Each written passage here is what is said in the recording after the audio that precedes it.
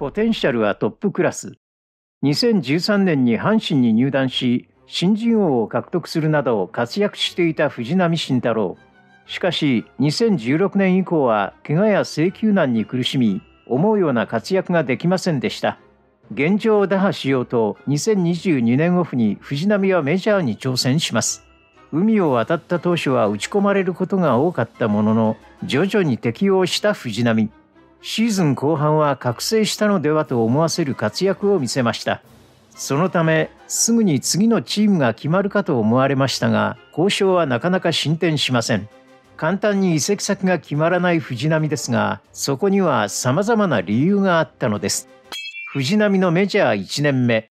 藤浪は2013年、大阪桐蔭校からドラフト1位で阪神に入団しました。1年目からローテーションの一角として10勝を挙げる活躍で新人王を獲得。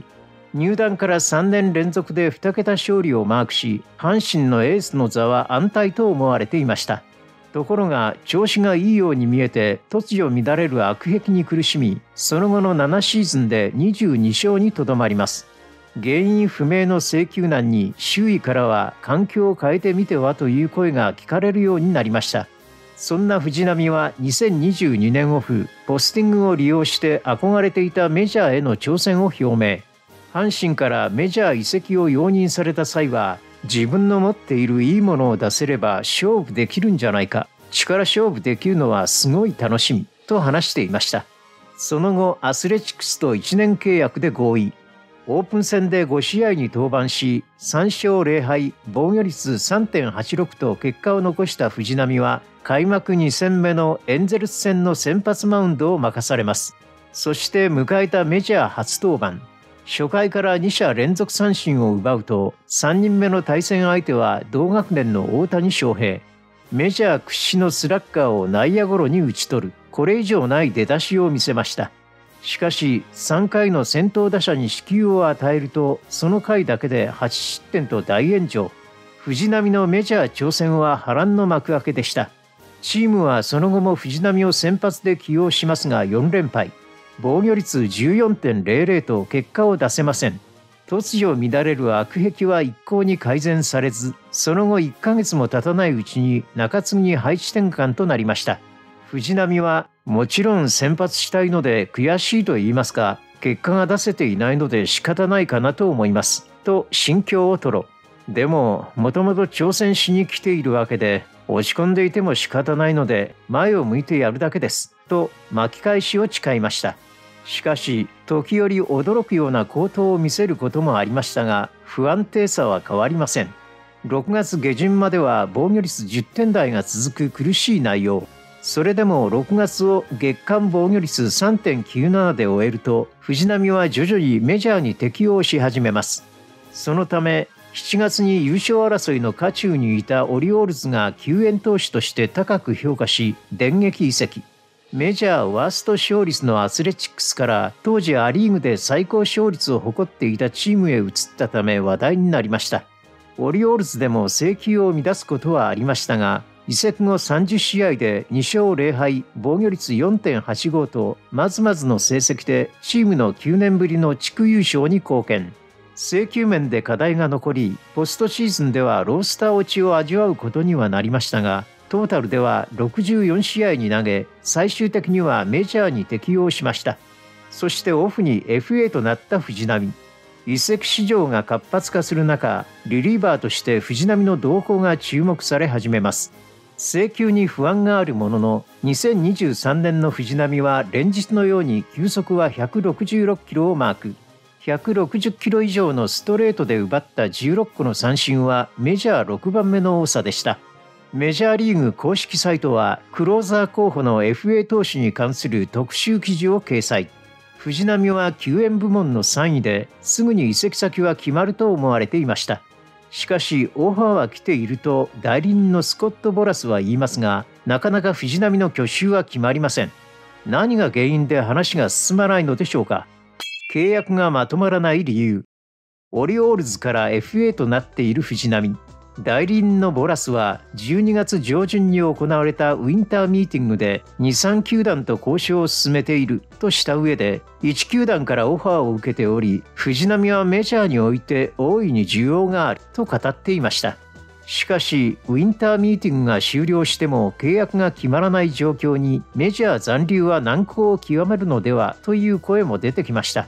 FA 戦線は大物から決まるのが通例と言われています。2023年オフはエンゼルスから FA となった大谷が目玉中の目玉。このオフは大谷の移籍先が決まれば FA 市場が動くと言われていました。そのためウィンターミーティング期間中の報道は大谷一色。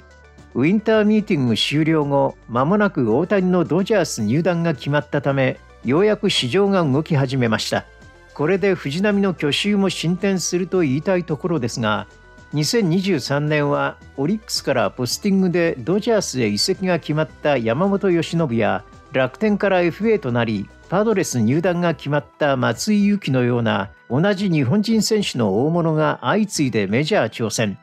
そのため中継ぎでギリギリの成績を残しただけの藤浪の話は進展のしようがありませんでした。また藤浪の最優先事項として阪神時代からこだわっていた先発起用が交渉に時間がかかっている理由として挙げられるかもしれません。ただ藤浪はメジャー移籍当初先発として起用されながら結果を残せず中継ぎに配置転換されました。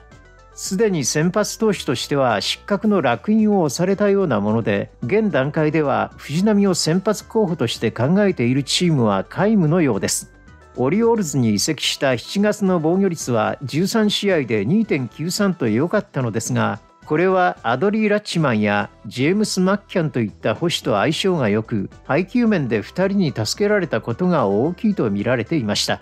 そのため相手チームに配球などを研究された8月以降ストレートやスライダーなどボールの質は良くても制球が悪化失点を重ねる場面が目立ちました。その後チームがポストシーズンに進出しながら藤浪はベンチ入りメンバーからは外れてしまいます。請求が定まらないようでは走者を背負った場面でのリリーフとしてはなかなか使いづらく当然先発をするにしても計算ができません。藤浪に対するメジャー30球団の評価はブルペン陣の一員でリリーフの78番手といったところのようです。そのため先発確約どころかマイナー契約にとどまる可能性も否定できません。ただ敏腕剛腕で知られるボラスの交渉力でメジャー契約を勝ち取れる可能性はあるのではとも言われており藤波の新天地決定はもうしばらく時間がかかりそうです。仮に先発にこだわらないとしても藤波クラスの選手の去就がどうなるか分かるのは遅ければキャンプイン直前になるかもしれません。藤波の2024年はどのチームのユニフォームを着て投げるのでしょうか？藤波の居場所はあるのか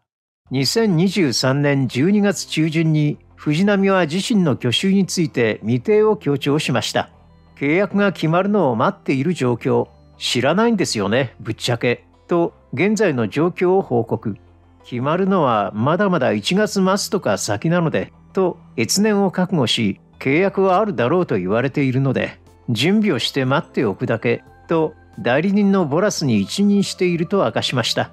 なかなか進展しない藤浪の去就。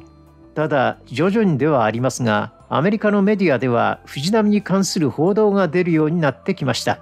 アメリカ最大の移籍情報サイトトレードルーマーはオリオールズのストーブリーグ展望を分析した記事を掲載。オリオールズはクローザーを務めていたフェリックス・バティスタがトミー・ジョン手術のため2024年は全休になることからブルペンの整備が必要になる可能性があると分析しています。補強ターゲットは潜在的な素質は高いながらもメジャーではまだ頭角を現していないタイプになると推測。同様のアプローチで2023年途中に獲得して結果を出せなかった藤波を安価な契約で呼び戻すことを検討するかもしれないと予想していました。また MLB 公式サイトもクローザーのポテンシャルを秘めた FA 救援5人と題した特集記事でその一人に藤波をピックアップしています。記事では藤波を最も興味深い FA のワイルドカードの一人と紹介。メジャー1年目の今季は請求に難があり、クローザーになるためにはそこが大きなハードルとなるとしつつそれさえクリアできれば藤波の持ち球はクローザーレベルにあると綴っています。同サイトは藤波はオリオールズで強烈な速球を使って終盤の貴重な救援になれる力があることを見せつけたと高評価29歳の藤波は発展途上ではあるが適切なチームに入れば大きな利益をもたらす可能性があるとしました。一方で藤波は自身の今後について含みを持たせながら語っています。契約もらえる間はメジャーリーグでやりたいなと思います。と語りつつ阪神でキャリアを終えられるならそれが一番形としてはいいといずれ古巣阪神に戻ってくる可能性について言及しました。本当にメジャーでめちゃくちゃやりたいって気持ちもありますし阪神にいい形でメジャー行ってこいって送り出してもらったのでその恩返しはしたいなっていう気持ちはもちろん持ってるんでと複雑な心境を吐露しています。メジャーへの憧れを実現した藤浪。今後もメジャーで投げたいと語っています。一方で阪神への愛着も明かしていました。2024年の所属先はメジャー最優先ですがひょっとしたら阪神復帰というのも全くない話ではないのかもしれません。海を渡った剛腕の今後に注目です。最後までご視聴いただきありがとうございました。今後も野球動画をどんどん出していきます。いいねやチャンネル登録、コメントをしていただけると明日への活力になりますのでよろしくお願いいたします。